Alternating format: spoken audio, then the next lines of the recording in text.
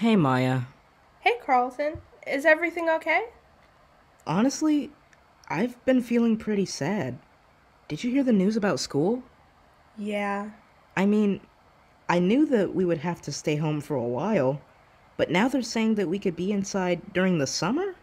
Yeah, I know it sounds bad, but we just need to stay positive. Yeah, I know. But I've been trying to stay positive, and I'm still upset.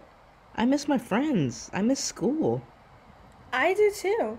Sometimes I even think about the little things, like how I never got to clean out my locker or see my favorite teacher before we left. Don't get me wrong, I'm all about being positive, but this just seems like a lot to deal with. I totally get that. In times like these, it's okay to feel sad. Everyone encourages you to stay positive, but in reality, we all deal with things in different ways. So it's impossible to be happy all the time. It's important to know that we're all in this together. Yeah, and I guess it's still good that we have friends and adults that we can still talk to. Exactly. Thank you, Maya. No problem. And remember, I'm always here for you.